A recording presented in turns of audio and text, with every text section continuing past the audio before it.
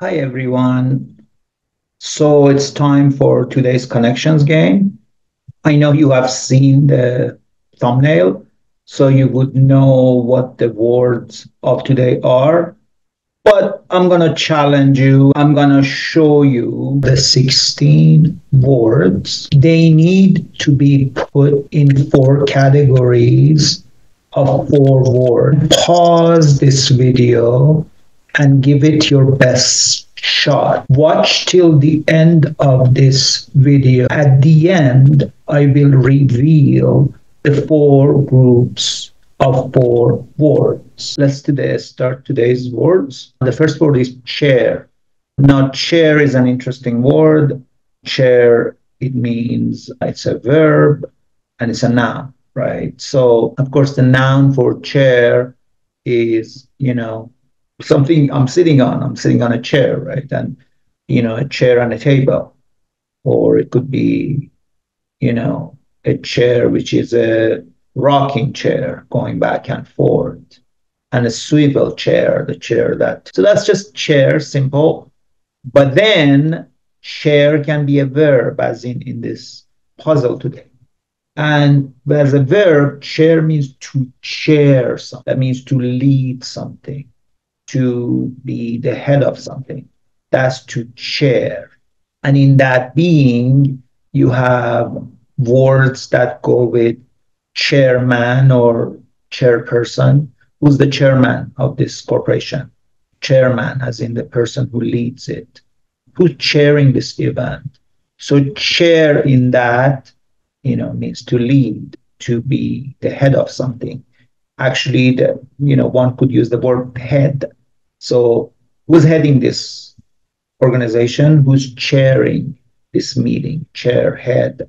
And it's interesting because the act of sitting or in a chair is sort of connected to presiding over and leading. So that's why in America, we, when you know, when a president is currently the president, we call that president the sitting president. That means the president, which is presiding over the country right now. That's the sitting president. So that's the word chair. Then we have direct or direct based on how you pronounce it.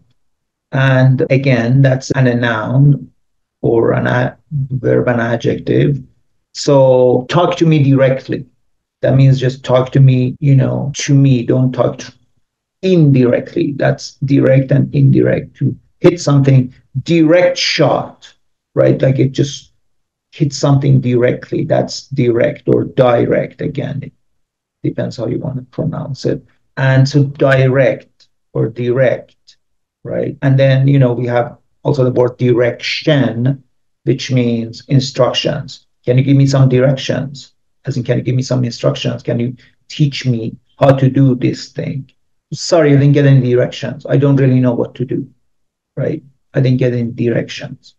So, but direct, so directly speaking, I you are in direct violation of the order that was given to you. Direct as in like strong and very in your face, right? That's direct. And I'm being direct to you, as in I'm not beating around the bushes. I am not just dancing around. I'm actually being direct to you, direct. And in here, in the puzzle here, direct to direct means to lead, to head.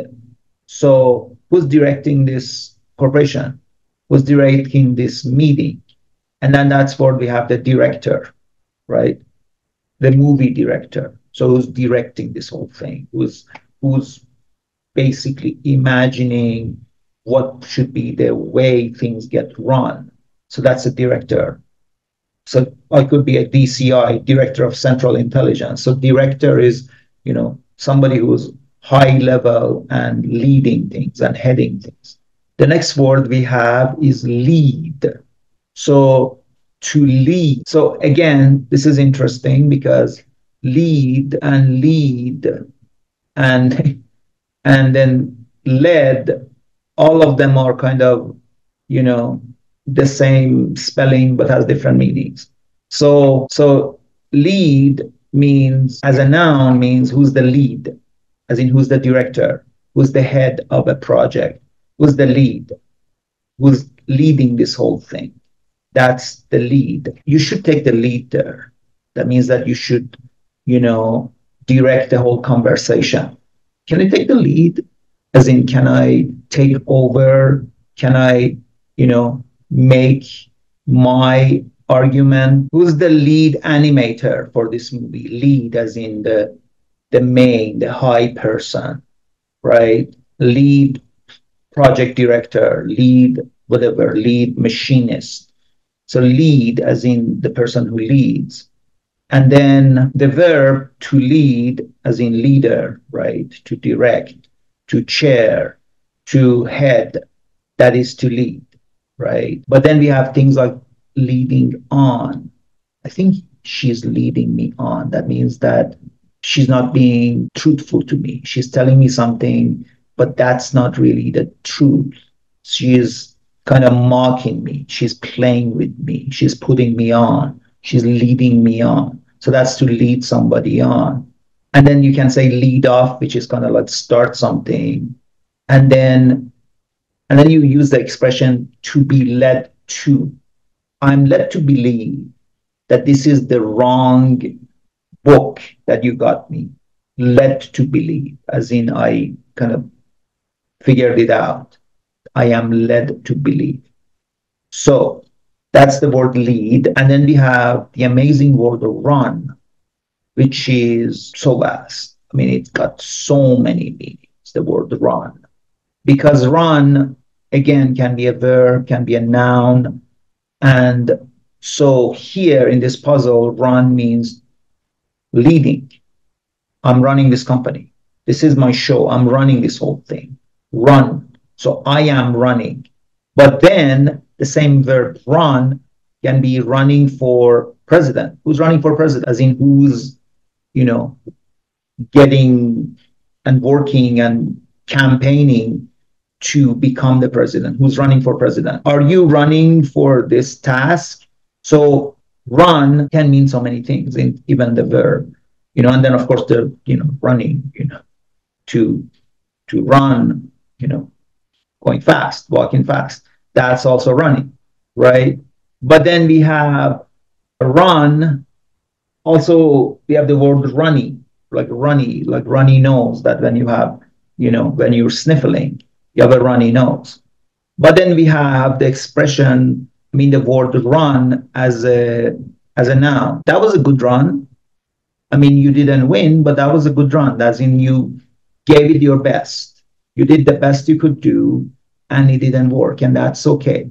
You did it, you gave it a good run, okay? Then, you know, I'm gonna go for a run, and that run, of course, it's going with you know, walking fast, and and you can also say that was a good run for when somebody is running for presidency, you know, and then also movies movies can be running and it's in a run, right? That the movie is in a theater and it's in a run.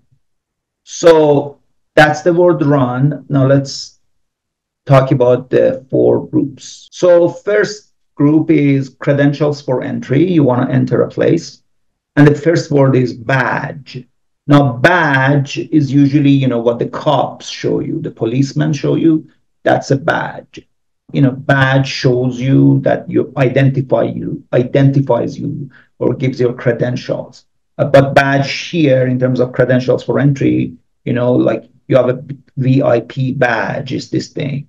But then we have expressions like badge of honor, right? Which means that's a badge of honor. That means that, oh, I am so um, so grateful that I got this badge of honor. It, it really means so much to me that I got this badge, badge of honor, this this sign of doing well. Then invite, you know, credentials, credentials for entry, invite. I got an invite. I mean, invite is simple. Invite just means that, you know, to be invited or to have invites. Pass is another one, credential for entry. And pass is interesting, you know, in soccer or in basketball or in football, you make a pass, you you pass the ball. But it's also interesting because you can make a pass at somebody, which is kind of sometimes inappropriate. Oh, that man just made a pass at me, or came on to me, or hit on me. Make a pass at somebody. And then, you know, I don't know, you bring in some fried onion for somebody and says, you want to, you know, try some of this. And they're like, I'll take a pass. I pass. I'm going to pass on it. Or another common one is like hard pass. Like, did you want to come help me with moving, you know, this weekend? Hard pass, as in, I'm not going to do it. So pass here means I'm giving a pass. I'm giving that a miss. I'm not going to do it. And ticket is another way of entry. And of course, I've talked about ticket in other videos. Ticket, you know, ticket means, you know, piece of paper that you use to get on a plane, or it could be for bus ticket or train ticket or ship ticket, whatever. But then also ticket is the, what the cop can give you that they can ticket you. But then ticket also can be this is the ticket. This is how you get in. This is your ticket. And that doesn't mean it's a piece of paper. That means that like you got a qualifications, you got a, I don't know, recommendation, you got something. That's your ticket. That's your ticket to get in. Then we have American football positions.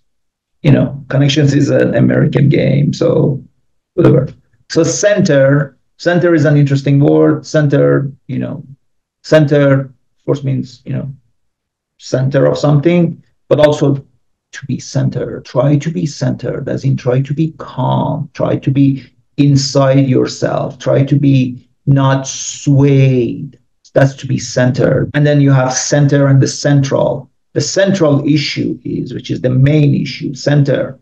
Also, center could be a noun. This is the center for studying movies, center. So the place, that's center. I'm centering on something. That means I'm focusing on it. Then we have the word end. And end is, you know, of course, to end something and to finish it. But also end means like, you know, in American football is end zone. It's like the, you know, home where you're gonna go. And, you know, or we have things like bookend and stuff like that. Then we have the word safety, and you know, these are football expressions. But safety means, of course, to be secure, uh, security, but also safety. You have a safety pin, those special, you know, pins that are kind of closed off. That's a safety pin. Then you have the word tackle. Now, tackle is an interesting verb. Tackle means to tackle somebody. Like, can you tackle this issue? That means, can you solve it? Can you solve this problem? tackling it. I think I can tackle this. Let me handle this. I can tackle it. Don't let me tackle you. That is like physical confrontation, tackling. Okay. But so there's tackle. And then we have the word for postpone. Hold is one of them. Hold is, you know, please hold, which is, you know, usually that means, you know, when you somebody I'm on hold, hold, postponement. But hold also means to grab something or to keep it or to, you know, hold it. Hold this for me, will you? Which is keep it, guard it, hold it, holding pattern, holding cell, which is a part of a prison that you're just waiting or holding room where you hold things and hold people. And then, so that's hold. Then we have the word and punt is you know is actually an expression in American football is when they kick the ball but punt on it. That means that you know hold it, postpone it. I'm gonna punt on that, as in you know I'm gonna wait on that. And stall, stall is the same thing for postpone. And stall means I think he's stalling me, which you know translates to I think he's stonewalling me. Stall. Are you just stalling for time? as in like you're not saying anything and trying to wait things out you're stalling aren't you stall But stall also can be that's a noun, that's a verb, but can also be a noun. That's my stall there. So you know, where you have selling apples and whatever fruit, that's your stall. So you know, kind of like a booth. And then finally, table. So which is interesting. You know, table. You know, you know, table as simplest form of chair and table, but table has so many meanings. Like you know, table can be a chart and a table where you know you have a table of contents, or you can have a table, but then you have the verb to table. I'm going to table this issue, as in I'm not to handle it right now. I'm not to tackle it right now. I'm to table it. Can we table this for now? As in, can we just not work on this and take care of it later? Okay, see you tomorrow.